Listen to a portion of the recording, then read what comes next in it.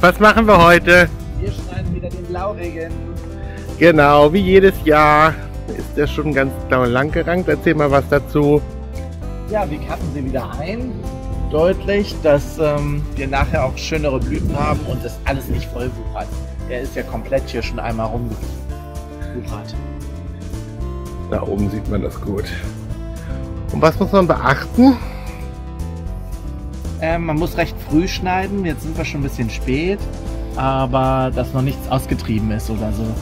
Und wir bleiben halt sehr kompakt, weil da die Ansätze sind, wo die Blüten nachher kommen.